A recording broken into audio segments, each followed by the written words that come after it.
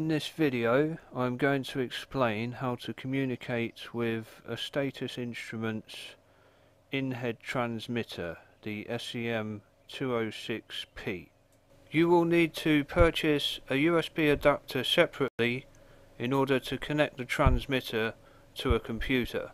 The user guide supplied in the box will tell you where to download the software.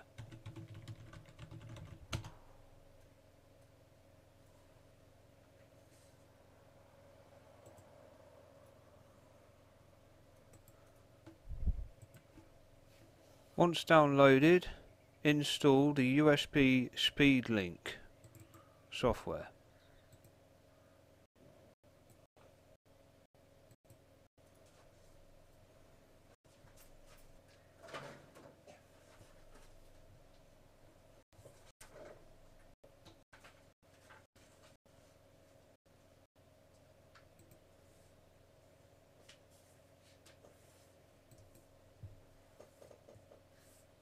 After the software has finished installing, it should then tell you that you can connect the device to begin communicating with it.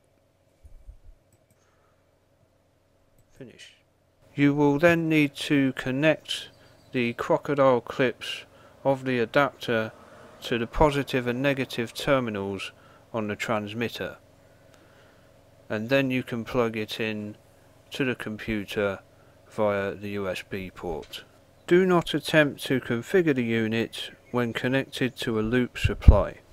Now locate the software in all programs.